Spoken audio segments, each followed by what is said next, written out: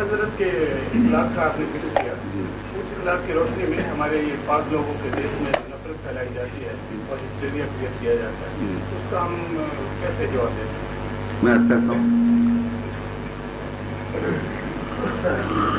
اس کا جواب تو دینے کے لیے بھی اس محمد مصطفیٰ صلی اللہ علیہ وسلم تھوڑا سا چاہیے۔ کیونکہ پونجی کے بغیر قدم اٹھایا نہیں جا سکتا۔ اور وہ اسوا یہ ہے کہ حق کی آواز بلند کرنی ہے، جو کچھ سر پہ گزر جائے۔ اور وہ ہمارے اندر اسوا موجود نہیں رہا۔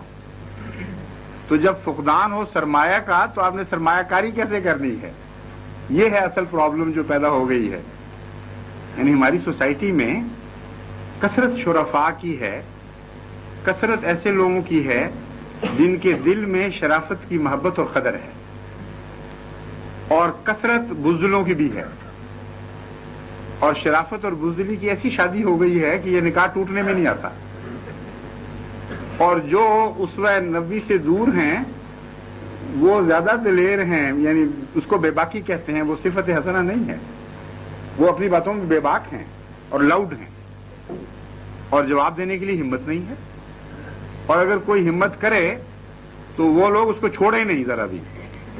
اس لیے خوف ملٹی پلائی کر رہا ہے۔ تجربے جو سامنے آتے ہیں، ان سے وہ ضرب کھاتا جاتا ہے۔ تو یہ تو ایک ایسا ڈائلیما ہے۔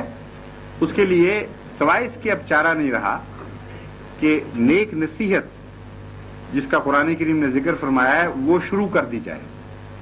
اور مین ٹو مین اس میں محمد مصطفیٰ صلی اللہ علیہ وسلم کا دائرہ پھیلانے کی کوشش کی جائے۔ تو قرآن کریم نے آپ کے سوال کا جب ایسی بیماری پہنچ جائے اس حد کو اس کا جواب خود دے دیا ہے۔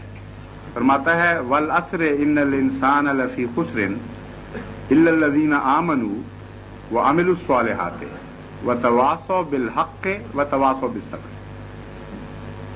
صبر نے یہ مضمون کھول دیا کہ اتنی محدود رہ گئی ہے وہ سوسائٹی جو برائیوں کے خلاف جہاد کرنے کی طاقت رکھتی ہے کہ ان پر بھی ظلم ہوں گے اور صبر کے بغیر چارہ نہیں۔ مضمون یہ ہے، اللہ تعالیٰ فرماتا ہے کہ ہم اس زمانے کو گواہ ٹھہراتے ہیں جو زمانہ بحثیت مجموعی گھاٹے میں جا رہا ہوگا۔ جب انسان اپنی کثرت اور اپنے علم اور اپنی فضیلت، ظاہری فضیلت کے باوجود الٹیمیٹ انالیس میں، آخری سودے میں گھاٹے میں ہوگا۔ ایسا عام ہو جائے گا گھاٹا کہ گویا ہم ال انسان یہ کہہ سکتے ہیں کہ سارا انسان گھاٹے میں ہے۔ اللہ تعالیٰ فرماتا ہے، نہیں، سارے انسان نہیں، کچھ استثناء بھی ہیں۔ الزین آمن و امل الصالحات۔ وہ استثناء یہ ہے کہ کچھ لوگ جو ایمان لائیں اور عمل صالح کریں۔ لیکن عمل صالح کو اپنے تک نہ رکھیں۔ یہ نہ سمجھیں کہ ہم نے نمازیں پڑھنی بس کافی ہو گیا، اب ہمیں کیا ضرورت ہے کسی جہاد کی؟ ان کو عمل صالح کا تبھی نتیجہ یہ نکلے گا۔ یعنی اگلی آیت کا حصہ بتا رہا ہے وہ تواس و بالحق۔ وہ نصیحت کریں، کرتے چلے جائیں حق بات کی۔ اور بالحقے میں دو معنی ہیں۔ ایک ذریعہ اور ایک کیا کہیں۔ دونوں باتیں اس میں آ جاتی ہیں۔ مطلب یہ حق بات کہیں اور حق طریق پر کہیں۔ یعنی حق داخل کرنے کے لیے ناجائز طریقے اختیار نہیں کرنا۔ یہ نہیں کہنا کہ جب تک ہم ڈنڈا نہیں اٹھائیں گے تم حق نہیں آ پا سکتے۔ اس لیے ہم زبردستی حق پر لے کے آئیں گے۔ یہ بل حق کے نہیں ہے کیونکہ بل حق کا مطلب ہے حق بات کہیں اور حق طریق سے کہیں۔ مینز مینز جسٹیفائی نہ کریں تمہاری تمہارے غلط طریقے کو۔ بلکہ مقصد اعلیٰ غلط مینز کو جسٹیفائی نہ کرے یہ مطلب ہے۔ اور اگلا حصہ، جب تم یہ کہو کرو گے تو اللہ تعالیٰ فرماتا ہے، میں جانتا ہوں یہ بڑا مشکل طریقہ ہے۔ نہایت ہی کمزور طریق نظر آتا ہے بظاہر۔ حق بات کہی جائے اور حق طریق سے کہی جائے، مانے گا کون؟ تو اس کے لیے صبر ضروری ہے۔ صبر کا مطلب ہے، کئی مطالب ہیں، ان میں سے ایک یہ ہے کہ اس کے مقابل پر دکھ دیا جائے گا۔ اور اگر تم نصیحت کا اعادہ کر کے اٹھے ہو، تو دکھ برداشت کرنے کے لیے تیار ہو گئے ورنہ خیالی دعویٰ ہے تمہارا۔ اور یہاں بھی اس نبوی ریفرنس ہے ہمارے لیے۔ پہلے دن سے ہی و تواسو بالحق و تواسو بصبر کی تصویر تفسیر بھی تھے، تصویر بھی تھے۔ اگلا بصبر کا معنی یہ ہے کہ صبر کی بھی تلقین کریں۔ وہ تواسو بصبر نہ صرف یہ کہ خود صبر کریں، بلکہ صبر کی تلقین بھی کریں اگلوں کو۔ کیونکہ جب تک اگلے بھی پیغامبر نہیں بنیں گے اور مددگار نہیں بن جائیں گے، اس وقت تک یہ نظام پھیل نہیں سکتا۔ صبر کے ساتھ کام لیں، صبر کی تلقین کریں۔ اور صبر کا ایک اور معنی ہے جو حضرت عبدس محمد مصطفیٰ صلی اللہ علیہ وسلم نے فرمایا، وہ یہ ہے کہ صبر، اصل صبر یہ ہے کہ جس نیکی کو تم پکڑ لو، اس کو پکڑ کر بیٹھ رہو اور پھر ہاتھ سے نہ جانے دو۔ عارضی نیکیاں صبر نہیں ہیں۔ وہ نیکیاں جو قائم رہ جاتی ہیں، ذات کا، وجود کا حصہ بن جاتی ہیں، ان کو صبر کہتے ہیں۔ تو یہ معنی بھی ہوگا کہ جب تم نیک باتوں کی نصیحت کرو گے تو مخالف سے مخالفانہ اتنی کوششیں ہوں گی کہ تمہیں نیکیوں سے اکھاڑنے کی کوشش کریں۔ بجائے اس کے کہ تمہارے اثر کو قبول کریں، تمہارے اندر جو حسن ہے وہ اس کو ظاہر کرنے کی کوشش کریں گی۔ اور یہ ہوتا ہے، مثلا ایک آدمی کہتا ہے، صبر کرو اور اچھی باتیں کرو۔ آگے سے اس کو گالیاں پڑنے لگ جاتی ہیں۔ کچھ دیر وہ کہتا ہے، بہت اچھا اس کے بعد کہتا ہے اچھا تم بات آتے ہو کہ نہیں؟ اب میں بھی پھر تم سے کرتا ہوں ایسی بات وہاں صبر کا دامن ہاتھ سے چھوٹ گیا۔ تو وہ نیکی جس کی تعلیم دے رہا تھا، وہ اس کے اندر سے غائب ہو گئی۔ یعنی بعض دفعہ اکھیڑنے والا خود اکھڑ جاتا ہے اگر وہ زیادہ طاقتور چیز ہو۔ تو اس حقیقت کو مد نظر رکھتے ہوئے قرآن کریم نے کامل نصیحت فرمائی ہے۔ فرمایا ہے صبر کے ساتھ پھر نیکیوں کو پکڑے رکھنا اور اپنے ہاتھ سے نہ جانے دینا کہ کہیں دوسروں کو ٹھیک کرتے کرتے آپ ہی اکھڑ جاؤ۔ یہ ہے ہارے ہوئے زمانے کی باتیں جو اس وقت ہے ہمارا زمانہ۔ اس لیے یہی طریق ہے۔ اور بے صبری کا کوئی طریق ہی نہیں۔ نو شارٹ کٹ اصلاح کے لیے شارٹ کٹ کا تصور نہایت جالحان ہے۔ اور صبر اس کے بھی نفی کر رہا تھا کہ اگر تم اصلاح کے دعوے دار ہو تو وہ تو صبر کے رستے سے ہوگی اور there is no shortcut to reformation چنانچہ اگر یہ بات درست ہے تو حضرت صلی اللہ علیہ وسلم کے اسوے کو اس بات کو کنفرم کرنا چاہیے اور بالکل اسی کو کنفرم کرتا ہے۔ کوئی اسلام میں آپ نے شارٹ کٹ استعمال نہیں کیا۔ صبر کے رستے پر جاری رہے اور اس کے نتیجے میں ایک انقلاب برپا ہونا شروع ہو گیا پھر۔ اس انقلاب کا قرآن کریم ایک اور جگہ ذکر فرماتا ہے۔ فرماتا ہے ادفا بلت کی ہے آسن یعنی کیوں اس میں جہاد میں صبر کی ضرورت ہے؟ کیا باتیں ہونے پیش آنے والی ہیں؟ فرماتا ہے، جب وہ مقابلہ کریں گے تمہارا، جب تم ایک نصیحتیں کرو گے ادفا بلتی ہی آسن تو یاد رکھنا، مقابلے میں کبھی برا ہتھیار نہیں چننا۔ وہ اگر برائی کریں تو حسن پیش کرنا ہے ہر برائی کے نتیجے میں۔ یہ کہنے کے بعد فرماتا ہے فیض الزی بینا کا و بینا اداوت ان کان ولی حمیم اگر اس رستے پر چلو گے تو تم عداوتوں کو محبت میں بدل رہے ہوگے، نہ کہ محبتوں کو عداوتوں میں بدل رہے ہوگے۔ اور روز بروز کوئی نہ کوئی دشمن تم سے محبت کرنے لگ جائے گا۔ یہ وہ رستہ ہے جو سچی اصلاح کا رستہ ہے۔ یہ تو نہیں کہ جو پہلے دوست تھے وہ بھی متنفروں کو دور چلے جائیں۔ یہ واقعہ، یہ موجودہ حضور صلی اللہ علیہ وسلم کی زندگی میں نظر آتا ہے پہلے دن سے لے کر آخری دن تک۔ ایک صحابی اسی مضمون پر گواہی دیتے ہیں، کہتے ہیں کہ ایک دور، کسی نے حضور صلی اللہ علیہ وسلم کے وصال کے بعد ان سے پوچھا کہ ذرا بتائیں تو صحیح حضور اکرم کا حلیہ کیا تھا؟ یہ بہت لوگوں میں عشق تھا اس بات کا۔ مجلسوں میں بیٹھ کے پوچھا کرتے تھے، جنہوں نے خود دیکھا ہو، آپ بتائیں آپ نے کیا دیکھا؟ تو رونے لگ گئے۔ اتنا روئے کہ ان کی ہچکی بن گئی۔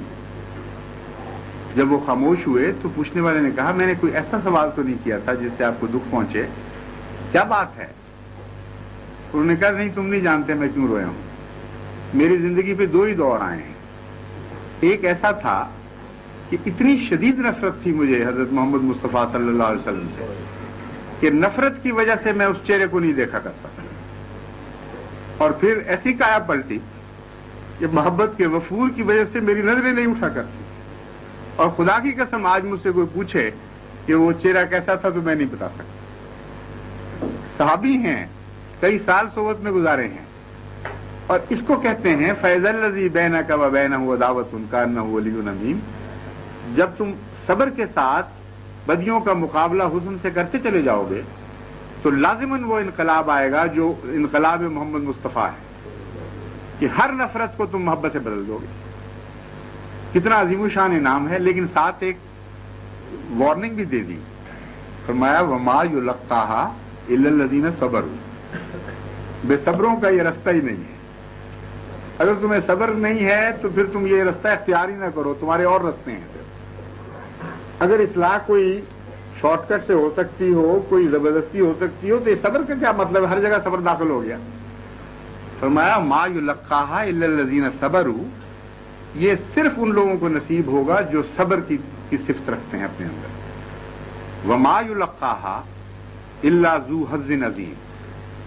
اور یہ نعمت عزما اس وجود کو حاصل ہے جس کو حز عظیم ملا ہے یعنی حضرت محمد مصطفیٰ صلی اللہ علیہ وسلم۔ حز عظیم کہتے ہیں، سب سے بڑا حصہ۔ تو صفات باری تعالی سے سب سے بڑا حصہ پانے والا حضرت محمد مصطفیٰ صلی اللہ علیہ وسلم ہے۔ تو مختصر کر دیا بات کو۔ فرمایا، اب یہ لمبا مضمون کے صبر کیا ہے اور کیا تقاضے ہیں؟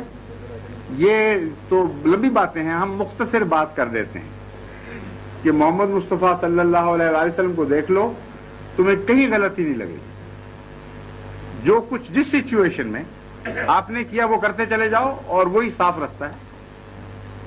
تو وہ صبر کا رستہ ہے۔ ایسا رستہ ہے کہ جہاں آپ کے ساتھ جھولیوں میں پتھر مارنے والے نظر نہیں آتے۔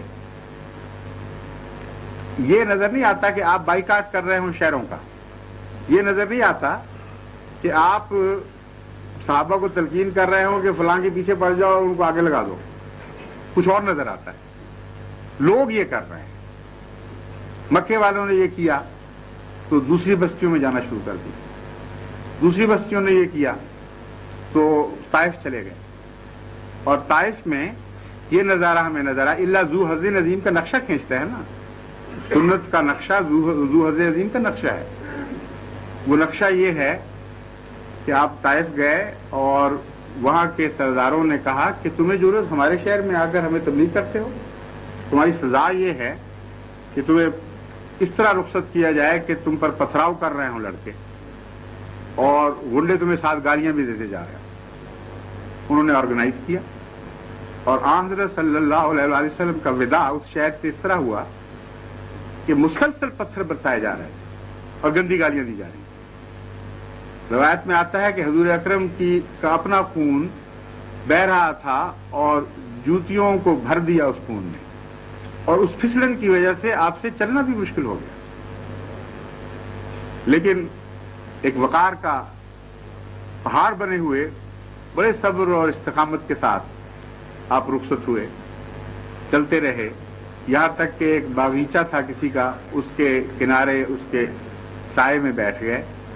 اس وقت روایت آتی ہے جبکہ زخم تازہ تھے جبکہ دکھ حد سے زیادہ تھا ابھی۔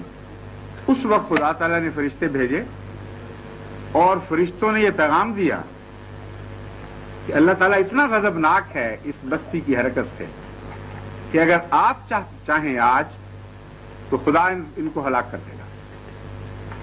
بعض روایتوں میں روایتوں میں آتا ہے کہ ان دو پہاڑوں پر تسلط تھا ان فرشتوں کو۔ یعنی خدا کی مخفی طاقتوں کو کنٹرول کرنے والا جو نظام ہے، اس کو ملائکت اللہ کہتے ہیں۔ تو انہوں نے کہا، ہم ان پہاڑوں کو ملا دیں گے اور اس بستی کا نشان مٹ جائے گا۔ ہاں حضرت صلی اللہ علیہ وسلم نے جو جواب دیا ہے، وہ حیرت انگیز اس کو صبر کہتے ہیں، جب دکھ تازہ ہو تو پھر صبر کرو۔ اور جب بدی اسی وقت ظاہر ہوئی ہو، پھر حسن دکھاؤ، اس کو کہتے ہیں حسن دکھانا اور بدی کو حسن سے بدلنا۔ آپ نے عرض کی ایک لمبی عرض ہے، بڑی دردناک۔ اور کہا، اللہ، میں ہلاک کرنے کے لیے تو نہیں آیا۔ ہدایت دے دے میری تو یہ التجا ہے۔ اور وہ بستی ہدایت پا گئی۔ تو صرف انسانی کوشش کا دخل نہیں ہے۔ زو حضر عظیم نے ہمیں بتایا کہ کہ اس کے بعد جب دکھے ہوئے دلوں سے دعائیں اٹھتی ہیں، تو پھر عام دنیا کا قانون نہیں رہتا، صرف ایک اوپر کا قانون قبضہ کر لیتا ہے۔ پھر الہی فرشتے تبدیلیاں پیدا شروع کر دیتے ہیں اور موجزانہ طور پر واقعات ہوتے ہیں۔ لیکن یہ معزے زو حز عظیم کو دکھائے جاتے ہیں۔ ایک آدمی جو خدا کی خاطر کچھ کرتا ہی نہیں، وہ دنیا پر ہی راضی ہے، اسی پر ہی اسی کو کافی سمجھتا ہے، اس کے لیے تو نہیں دکھائے جائیں گے۔ تو سارا طائف پھر عاشق جانصار میں بدل گیا، یہ تاریخ بتا رہی ہے۔ یہ کام کریں۔ مشکل تو ہے، اگر صبر ہے تو کریں۔